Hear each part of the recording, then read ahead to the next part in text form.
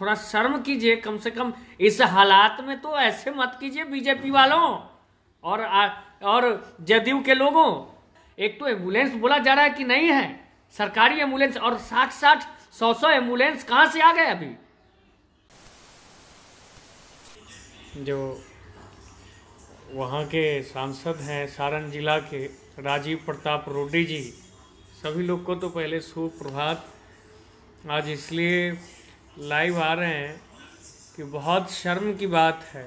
लोग अभी इस कोरोना महामारी में लोगों का जो हालात है और लोग इस बीमारी से जूझ रहे हैं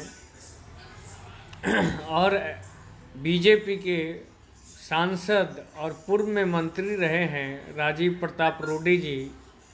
उन्होंने 50 क्या साठ साठ एंबुलेंस, सुनने में आया सौ एंबुलेंस, वो केवल ढक के रखे हुए हैं इस स्थिति में।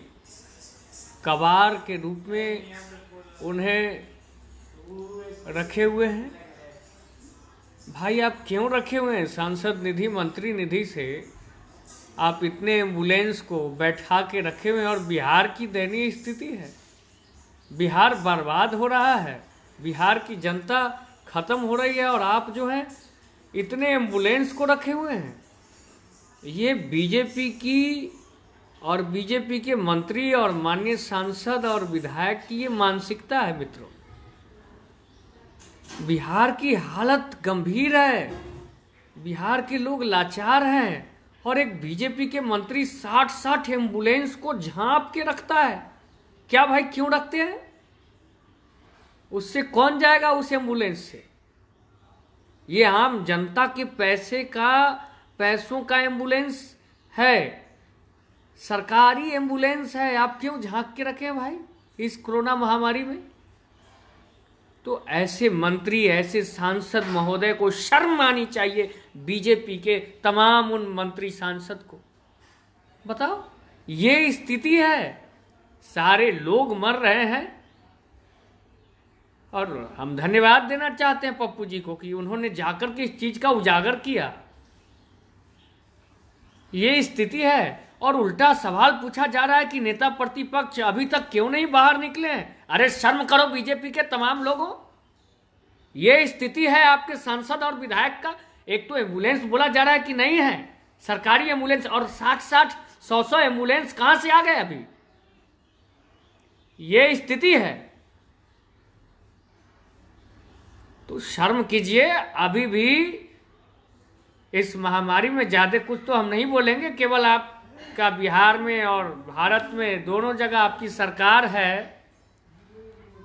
कम से कम आपसे निवेदन है। अभी आँसू आ रहा है हमें आपके इस मंत्री और सांसद को देख करके। थोड़ा शर्म कीजिए, कम से कम इस हालात में तो ऐसे मत कीजिए बीजेपी वालों और और जदयू के लोगों। आपकी दोनों जगह सरकार है, शर्म आनी चाहिए। ये स्थिति है। और पूछते हैं कि भाई नेता प्रतिपक्ष अभी तक निकले क्यों नहीं है? तमाम हम बिहार के जनता से अपील करते हैं कि इनकी मानसिकता को आप लोग देखिए। ये करना क्या चाहते हैं, दिखाना क्या चाहते हैं? बीजेपी और जदयू के लोगों, डबल इंजन का सरकार चल रहा है और सारा एंबुलेंस पंक्चर पड़ा है इनका। साठ साठ एंबुलेंस पंक्चर पड़ा है।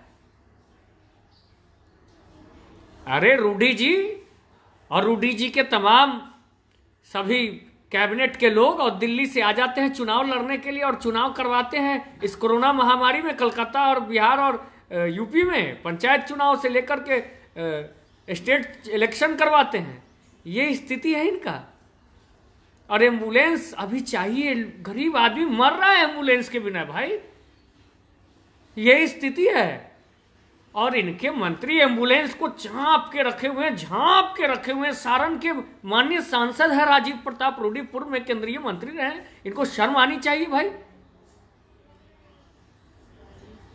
तो आप सब लोग से यही गुजारिश करते हैं कि इनकी दोहरी नीति को आप लोग समझे। आप सभी लोग को प्रणाम, नमस्कार करते हैं और आपसे निवेदन करते हैं, मास्क का इस्तेमाल करें और सैनिटाइजर लगाएँ, घर पे रहें, स्वस्थ रहें, स्वच्छ रहें। हम ईश्वर से कामना करते हैं कि आप सभी लोग स्वस्थ होंगे। अगर ये वीडियो पसंद आई, और वह बिहार के राजनीति और बिहारियत से सरोकार रखेनी तो सब्सक्राइब बटन दबा के चैनल के सब्सक्राइब कर ली। ओजे एगो घंटी बा, ओकरा बटन दबा देला से कुल सटीक और मारक खबर रुआ मुफ़्त में मिल जाई अगर रुआ पत्रकारिता के हमनी के नया प्रयोग में सहयोग कर चाहतनी तो ज्वाइन बटन दबा दी। पेटीएम नंबर नोट कर ली nine three eight six eight one six seven double zero. धन्यवाद।